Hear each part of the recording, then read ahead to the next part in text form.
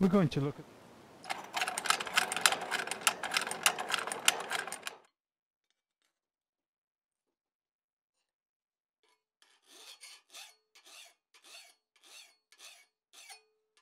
In these two videos we're going to be looking at the filing vise. Filing vise, this one is intended for the BAM box at the ABANA conference in Saratoga of this year, 2020, and my thanks go to Rod Plew for supplying the original. In the first video we're going to look at this, the lower jaw. The lower jaw has got all the detail pieces on it. It has the recess for the spring and the two outside knuckles, the centre knuckle being on the upper jaw. The spring is going to be comprised of a piece of round bar that is flattened and that should just fit into that recessed area. We're going to look at the lower jaw first.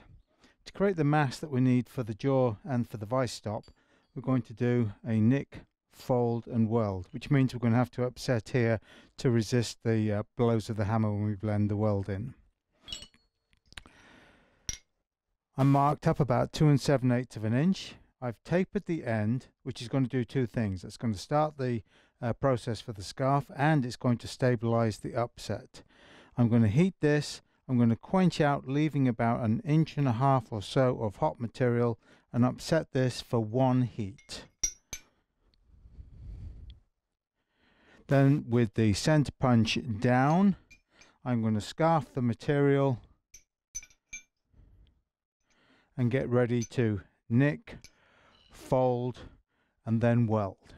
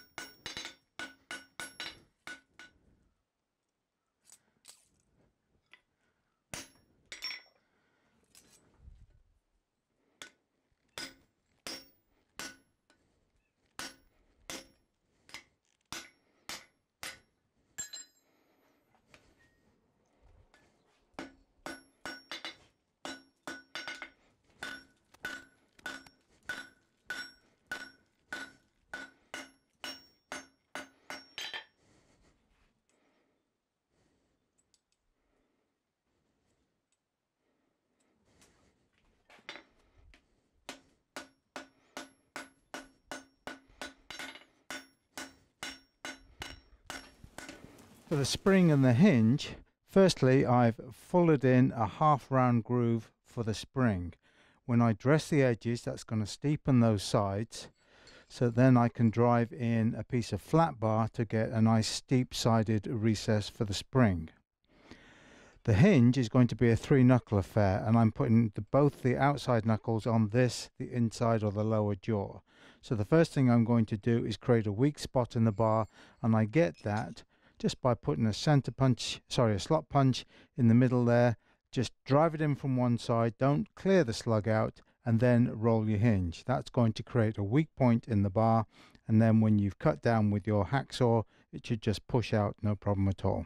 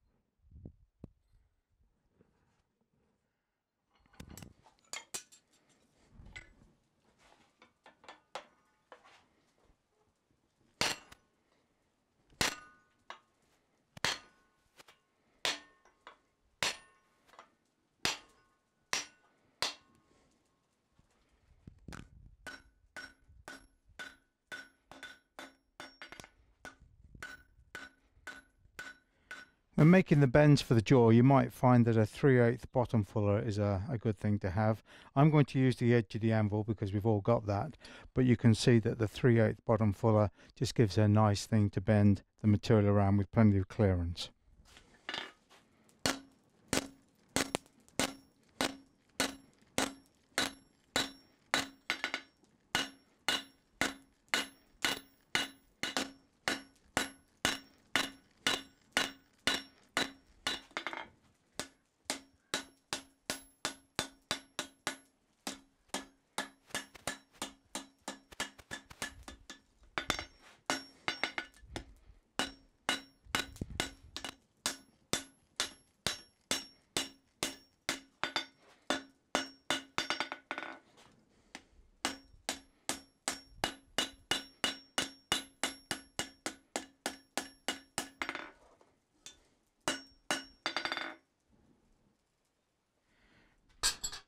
Once we've got the lower jaw roughed out, we need to make a drawing. So for me, I like to put a hole in a piece of tin plate. I can put a drift in place, lock that in, and I'm going to scribe across the inside of the vise and the top of the jaws, bottom of the vise stop. I'm going to turn the whole thing over. I'm going to do exactly the same. Inside, top of the jaws, bottom of the vise stop. Draw the vice stop across. And what I have now is a drawing that I can offer up the upper jaw in any orientation and the drawing is going to work for me.